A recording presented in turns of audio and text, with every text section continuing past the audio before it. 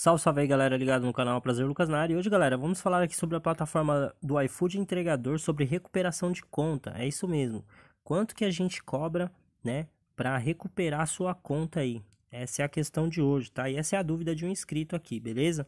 Eu vou explicar isso aqui nesse vídeo. Mas antes de começar esse vídeo, eu vou pedir para você que não é inscrito no canal, já se inscreva aí embaixo no canal, ativa o sininho e deixa o like. Todos os dias tem novidade aqui no canal, então não fica de fora, beleza? Vou deixar aí na descrição os links de indicação das plataformas de mobilidade de entrega. Com esses links, a sua aprovação é rápida, prática e garantida.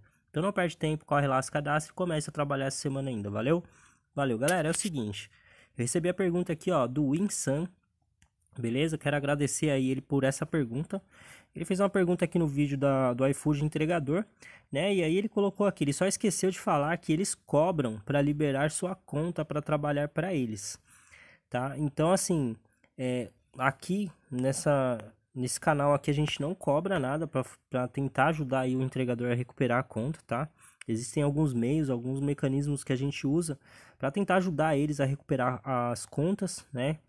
Seja qual foi a forma, dependendo de qual foi a forma que ele perdeu, tá? Então, nós não cobramos nada para realizar é, esse procedimento, tá? Não é nem a gente que vai realizar, é o próprio entregador, ok?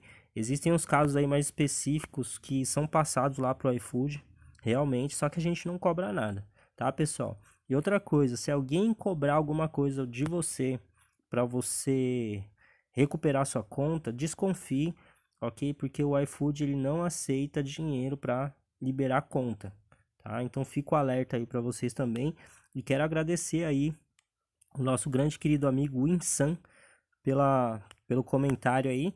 E é isso. O vídeo de hoje foi esse. Quero agradecer a todos aí.